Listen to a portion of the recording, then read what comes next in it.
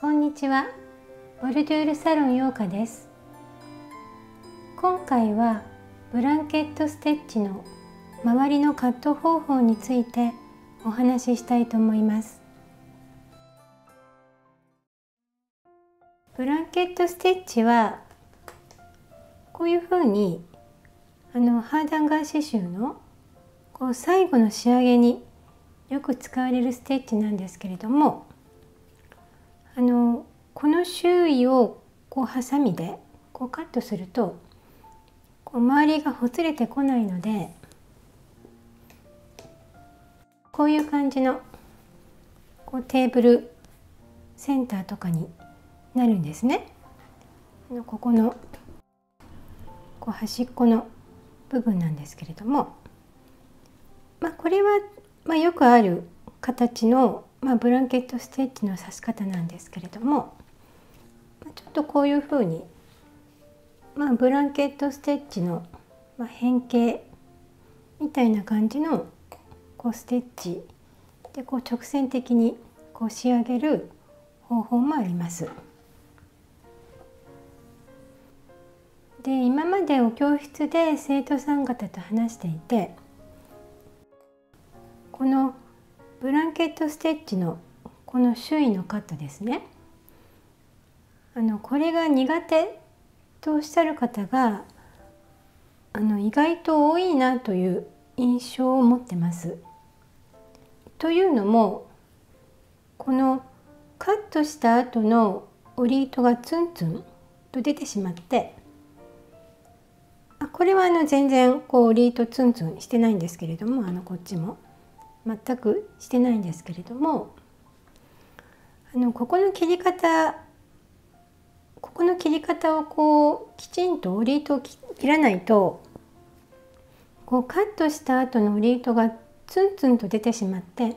あんまり美しくない感じになってしまうとかあと、まあ、最悪この刺繍糸の方ですね。こっちをうっかり切ってしまいそうになるとかまあ、その2点がこのブランケットステッチのカットの苦手意識につながってしまうのかなと思ってるんですけれどもあのこれちょっとしたコツで、まあ、それほどストレスをためずにあの綺麗にカットできますのでそれを今からちょっとやっていきたいと思います。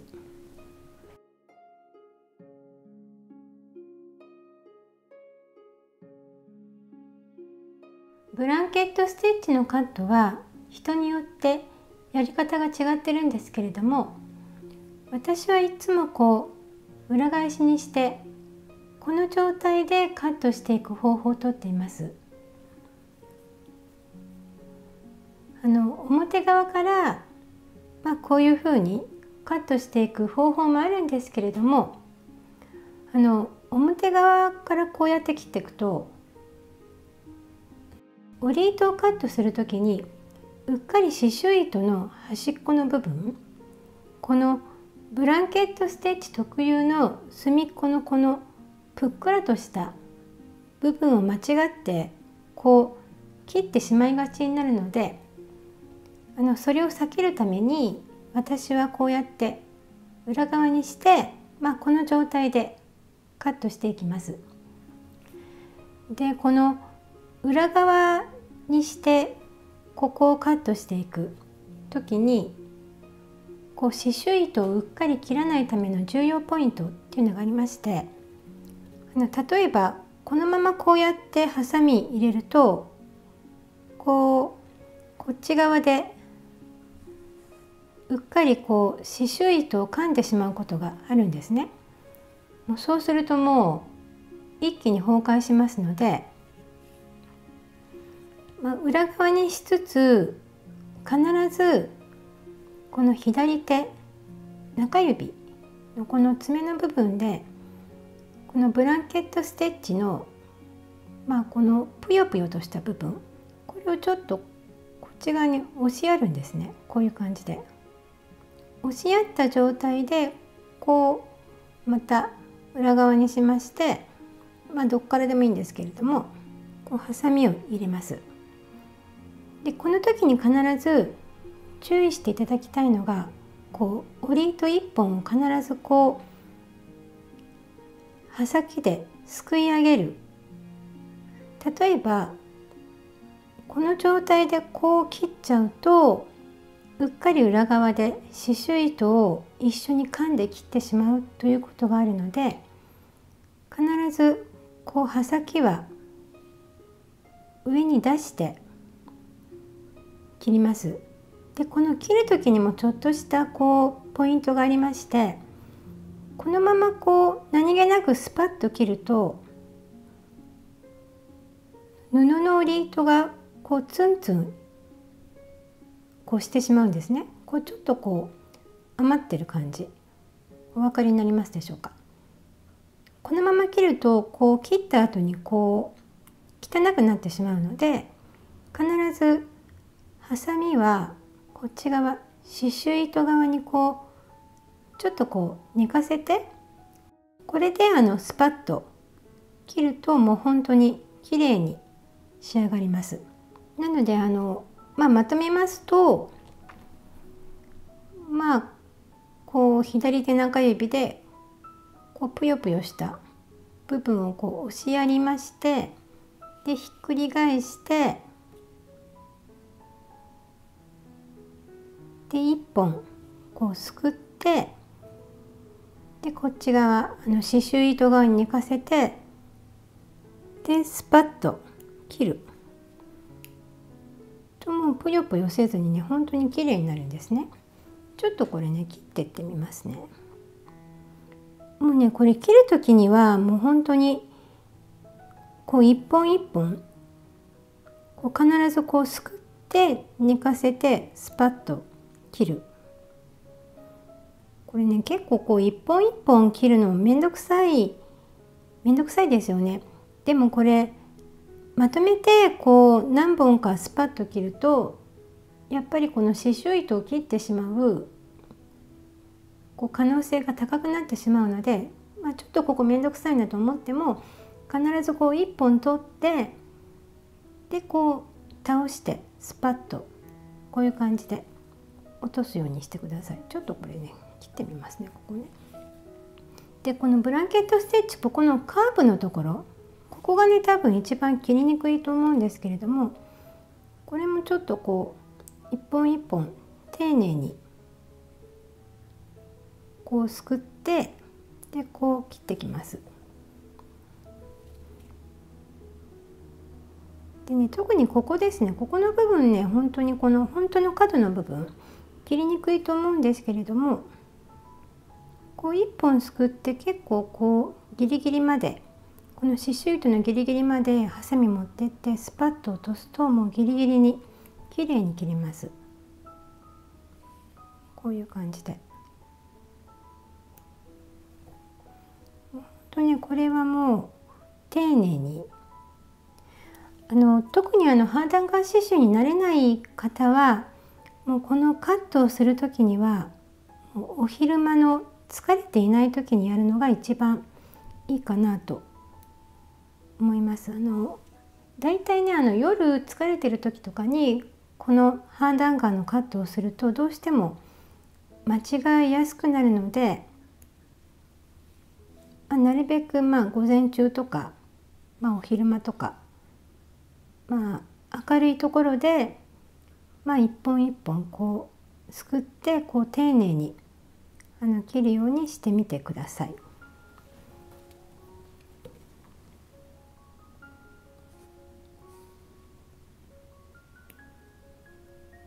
こういう感じですね。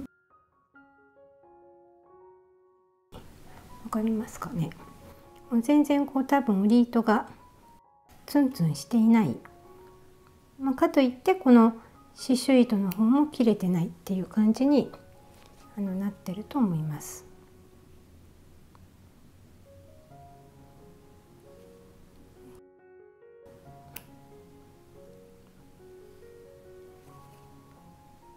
ね、これは本当にねゆっくりで急いであの切っていいこと一つもないので特にこのあの角のところここはね本当に注意深くあのやってください。ちょっとねこれ落としてってみますね。まあねあの慣れてくるともうちょっとこう多分素早くあのできると思うんですけれども別にこれ速さを競っても意味ないのでこうゆっくりと丁寧にもう一本一本こう落とすようにこうしてください。こういう感じで。ちょっとねまだ落としてるところ少ないんですけれどもこういう感じで綺麗に落ちてきてます。わかるかな、まあ、こういう感じですね。多分ね表から見ても全然こうここがこうツンツンしない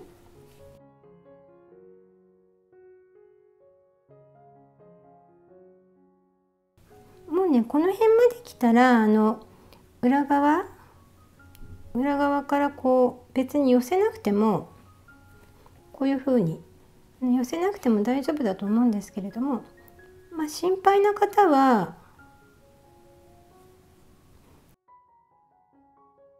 ここのぷよぷよした部分ちょっとこう爪で寄せてこうハサミでこう噛んでないか確認しながら切っていくといいかなと思います。あの多分ハーダンガ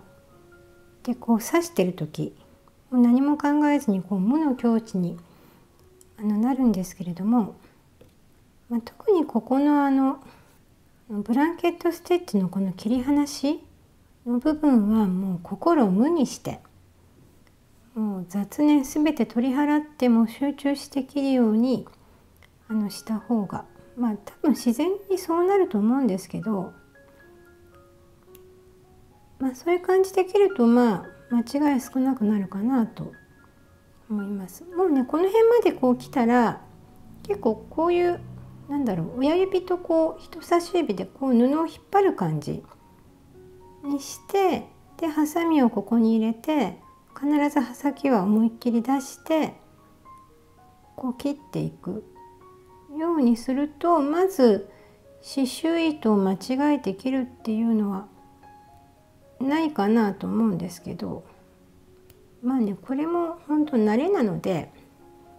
まあ慣れるまではちょっとこう注意深くやってってみてください。ね、お教室でもねここのあのブランケットステッチの切り離し箇所に入ると結構ねそれまでいろいろとおしゃべりしてらした方がこう無言になるということがまあ多々あります。実際ねここは本当にあの黙ってやった方が間違いが少なくなると思うんですけれどもこれねもし間違って切っちゃった場合にはまあちょっとその修正方法、まあ、あるんですけど、まあ、一番手っ取り早いのはもうほつれ止め液でもうほつれる前にもう切っちゃった場所をこう止めるっていうことなんですけれども、まあ、そのうちねあのこの間違って刺繍糸をカットしてしまった場合のこの修復方法まあ、刺繍糸に限らず織り糸を間違ってカットしてしまった場合とか、まあ、その辺もちょっとねやっていきたいと思うんですけれども。まあねちょっとそれはまだもうちょっと先の感じかなっていう感じで考えてます。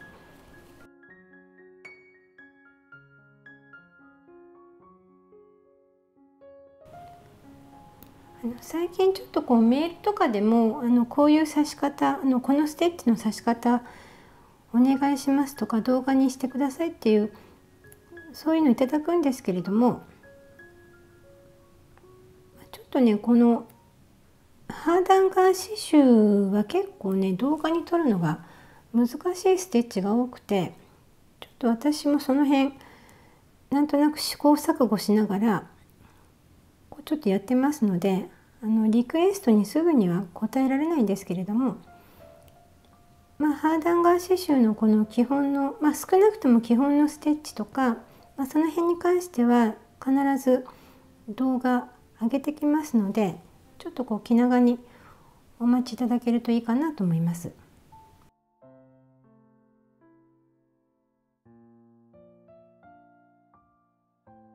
ブランケットステッチって最初の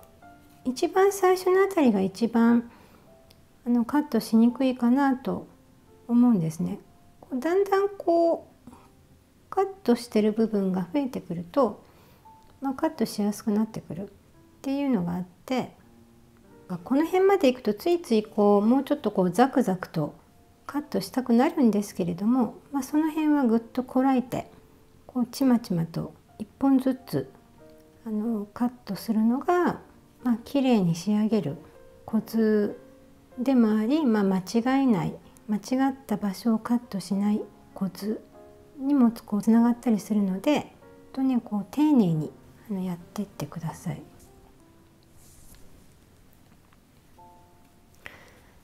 これあのこの辺まで来たら結構ね私ね適当にこうザクザク切っちゃうんですね。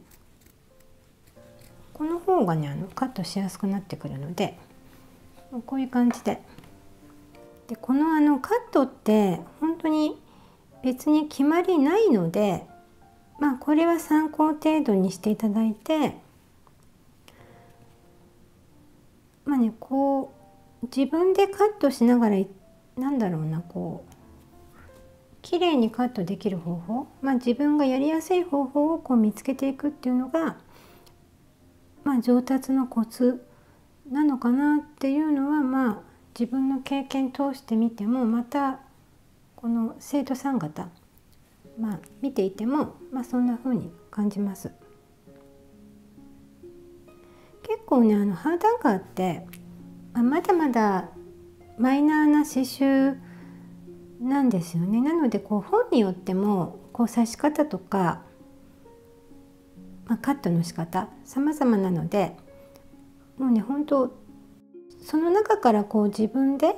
こう一番やりやすい方法を探すのが一番まあいいかなと思ってます。でこう表に返すと全然こうツンツン出てないですよねわかるかなちょっとこうこうした時にあのここからツンツン出てないですよね。ちょっとこれね紫で 見え見えにくいんですけど、まあ、こういう風に切るとあのとっても綺麗にあの仕上がります。ここからこう織り糸がツンツン出てないのお分かりになりますか？多分ねこう全く出てないと思うんですけれどもこれね結構この木はギリギリにこう切ってるので全くこう汚らしい感じがしないんですね。じゃあちょっとねこれ全部落としちゃいますね。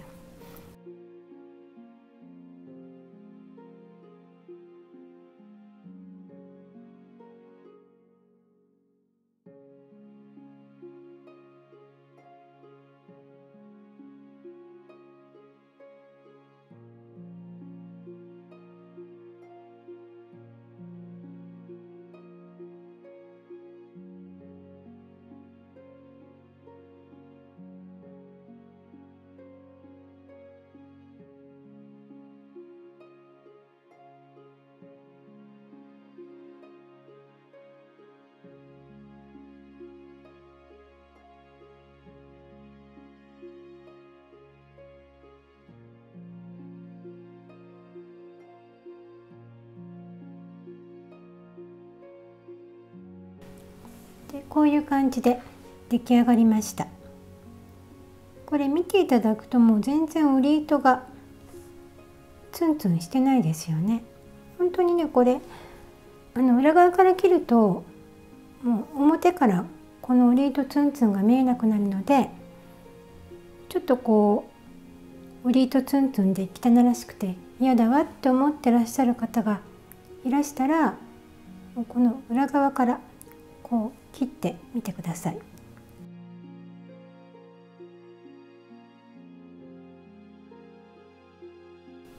あのまあ私は今までこの方法でブランケットステッチのカットをしてきて刺繍糸の方を間違って切ってしまったという経験はないんですけれどもあのこれ織り糸の際ギリギリを切っていく方法なのでハーダンガーにまだ慣れていらっしゃらない方がこの切り方をなさる場合には明るいお昼間の疲れていない時にカットするようにしていただいた方がいいかなと思います。というのもあのうっかり刺繍糸の方をカットしてしまうともう一瞬でその箇所が崩壊してしまうんですね。あのハーダンガン刺繍をやっていて間違って刺繍糸をカットして崩壊してしまうことほど悲しいことはないのでこのブランケットステッチのカッターも本当に慎重にするようにしていただいた方がいいかなと思います。ブランケットステッチのカット方法はいろんなやり方があるかと思うんですけれども